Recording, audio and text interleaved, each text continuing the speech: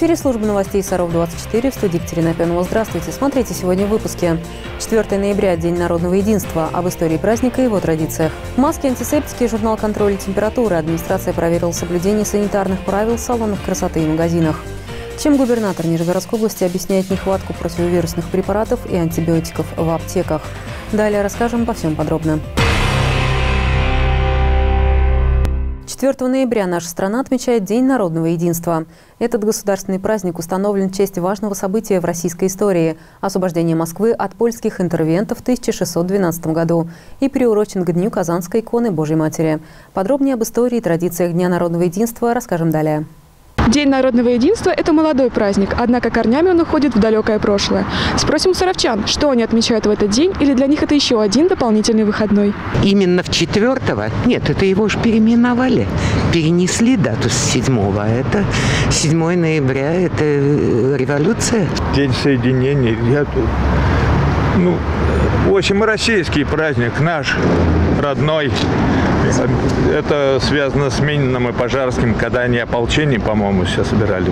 Как нам удалось выяснить, к Дню народного единства саровчане относятся неоднозначно. Одни считают его праздником, который сплотил народы, другие характеризуют как попытку заменить День Октябрьской революции, который до 2005 года праздновали 7 ноября. Купно заедино, вместе заодно. Этот призыв Козьмы Минина стал девизом для ополченцев. В Нижнем Новгороде земский староста Козьма на площади обратился к людям с призывом создать освободительное движение для борьбы с польскими и литовскими интервентами. Сегодня эта площадь носит его имя. То есть это в сентябре 1611 года а, как бы а, на площади Кузьма Минин бросил клич вместе заодно и э, давайте собирать деньгу пятую деньгу, как он говорил, заложим жен, мужей, всех заложим, но за Русь свою постоим. 4 ноября также отмечают День Казанской иконы Божией Матери. У государственного и церковного праздника общие истоки. Икона была символом движения, перед ней молились Минин и Пожарский. В дни решающих битв за Москву и Кремль она оставалась с ополченцами. Впоследствии эта икона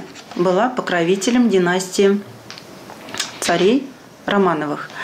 А, и Многие верили, что благодаря иконе Казанской Божьей Матери и э, выгнали, изгнали э, захватчиков из стен Московского Кремля. Ко Дню народного единства городская библиотека имени Александра Сергеевича Пушкина подготовила выставку «Подвиг во имя России», где собрана литература о событиях 1612 года для читателей всех возрастов. Те, кто предпочитает сейчас оставаться дома, могут посетить библиотеку онлайн. Для читателей подготовлен веб-квест «Единство в нас», интерактивная карта, путь Нижегородского ополчения 1612 года, видеоисторическая реконструкция вооружения ополчения и презентация «Пять фактов о Минине и Пожарском». Сайт открыт для всех, кто хочет узнать больше о смутном времени. Анна Пелепец, Евгения Шевцова, Сергей Рябов. Служба новостей Саров-24. Мир переживает критический этап пандемии коронавируса, и следующие несколько месяцев ситуация будет тяжелой. Об этом заявила ТАСС представитель Всемирной организации здравоохранения в России Мелита Войнович. В глобальном срезе мы находимся на критическом этапе пандемии, особенно в северном полушарии. Следующие несколько месяцев будут очень тяжелыми, и некоторые страны находятся в тяжелом положении, подчеркнул Войнович. Заболеваемость новыми случаями COVID-19 продолжает ускоряться, в то время как количество новых случаев смерти в последнее время оставалось относительно стабильным.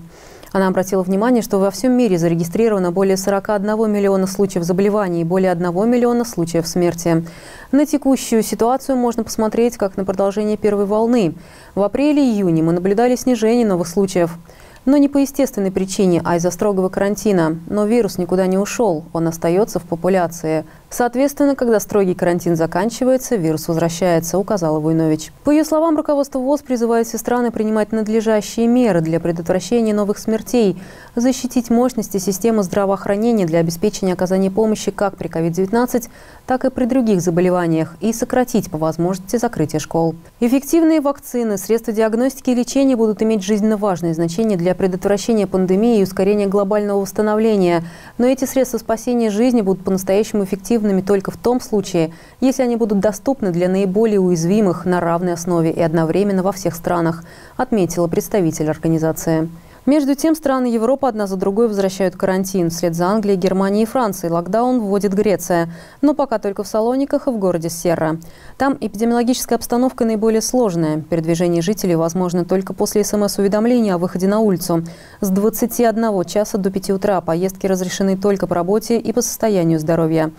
Чешская республика еще сильнее ужесточила общенациональный карантин, введя комендантский час с 21 до 6 утра. Там уже закрыты магазины, школы и рестораны. Масочный режим обязателен. Полмесяца будет действовать комендантский час в Испании. Там уже действует еще один новый запрет на собрание людей в количестве более шести человек.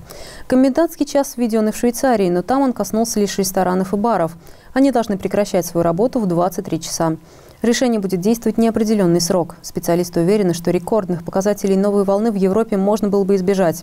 Среди причин, приведших к нынешней ситуации, они особенно выделяют три. Национальные культурные привычки, рукопожатие, поцелуй, объятия. Джентрификацию, из-за которых все больше и больше людей живут в городах с их скученностью, а также высокую долю мигрантов, которые зачастую не имеют доступа к информации на родном языке. Администрация продолжает проверять, как предприниматели соблюдают санитарные меры. Во время очередного рейда специалисты КУМИ посетили салоны красоты, магазин спецодежды, продуктовые точки. Смотрели наличие масок антисептиков, проверяли журналы регистрации температуры и графики обработки помещений. Подробности далее. Журнал не ведется. А, то есть температуру у вас 9 градусников нет, да?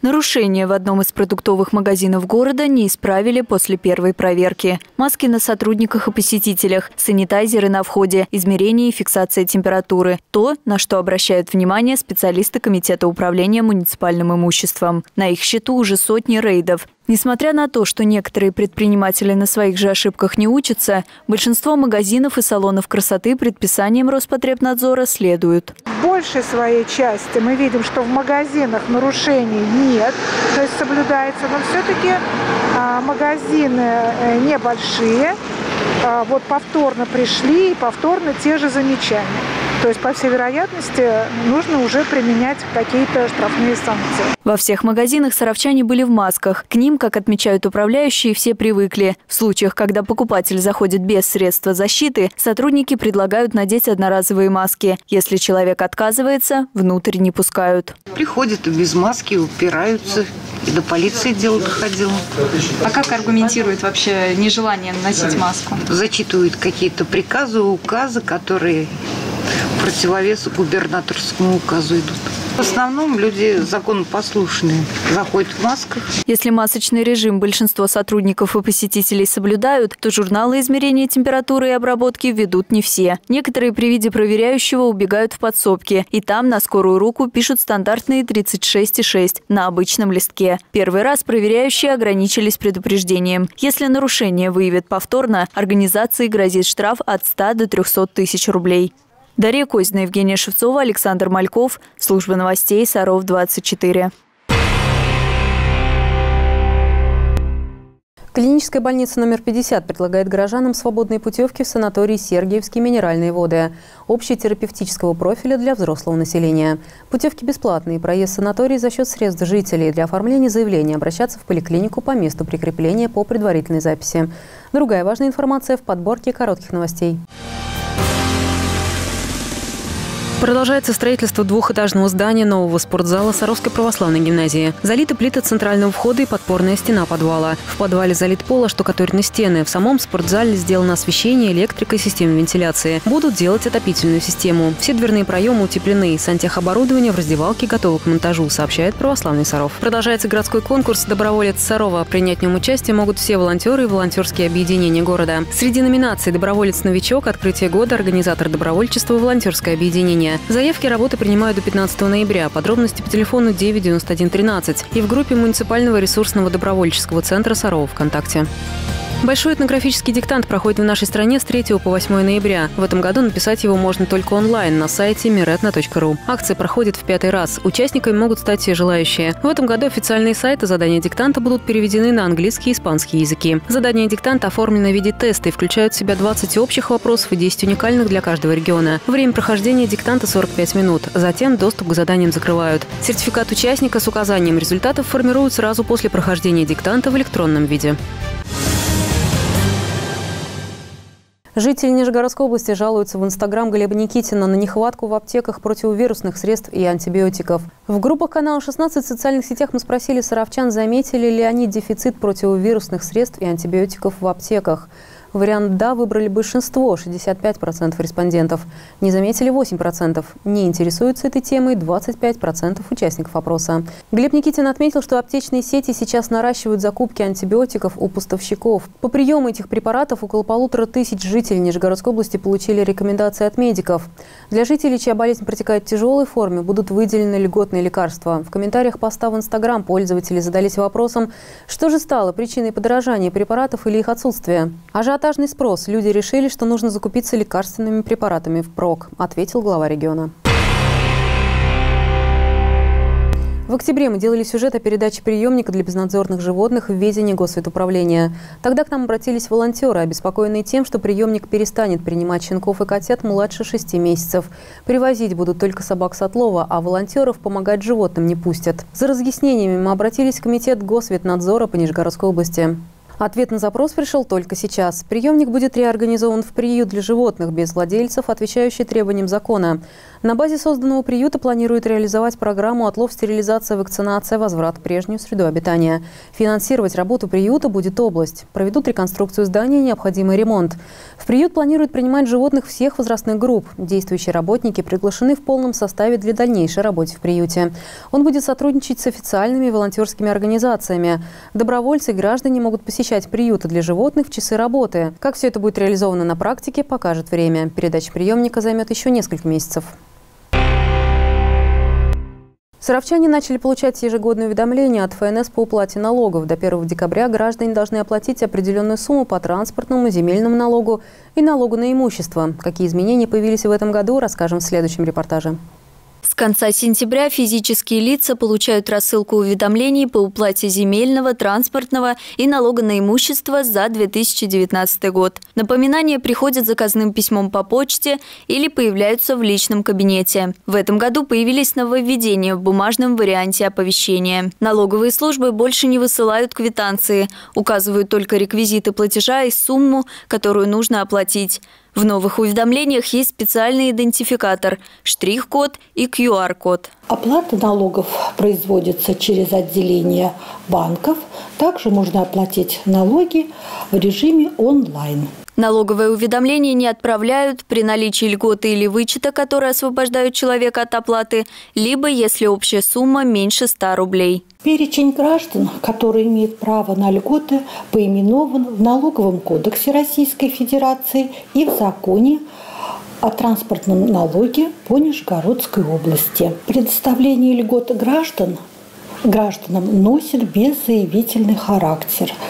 То есть налоговый орган предоставляет льготу на основании сведений, которые имеются в налоговом органе в соответствии с федеральными законами. Рассчитаться с государством нужно до 1 декабря 2020 года. Если налогоплательщик этого не сделает, за каждый день просрочки будут начисляться пени.